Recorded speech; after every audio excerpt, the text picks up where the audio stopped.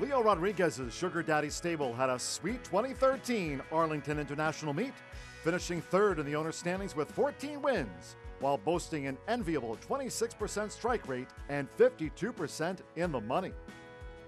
A cousin to Arlington jockey Cisco Torres, Rodriguez has owned horses for seven years at Sugar Daddy Stable, a name his daughter made up, but started buying horses at age 18 when he purchased a horse from Betty Gabriel for $1,500. That solo purchase has sprouted into 30 horses on his farm, including broodmares, yearlings, and weanlings, and 12 horses in training at Arlington with Armando de la Cerda.